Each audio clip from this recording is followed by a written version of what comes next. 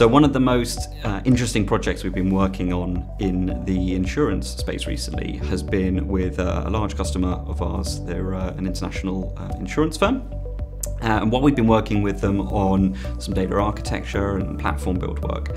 Through conversations with their chief innovation officer, we came across a growing problem in their back office, which, like many organizations, they are having to do more with less resource.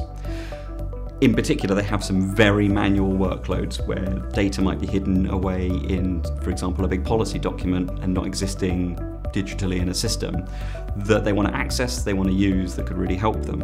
So we narrowed down on a problem statement, which is how do they classify how a building is constructed because they need it for their risk models.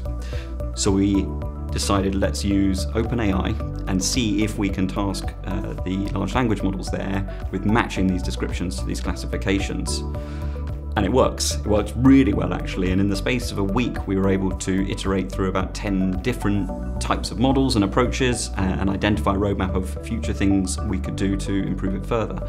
And was able to demonstrate really successfully, yeah, Gen AI has a big role to play in automating these large manual workloads and back office functions. And you know, we're now talking about all the things that we can do next to really help build the insurance back office of the future.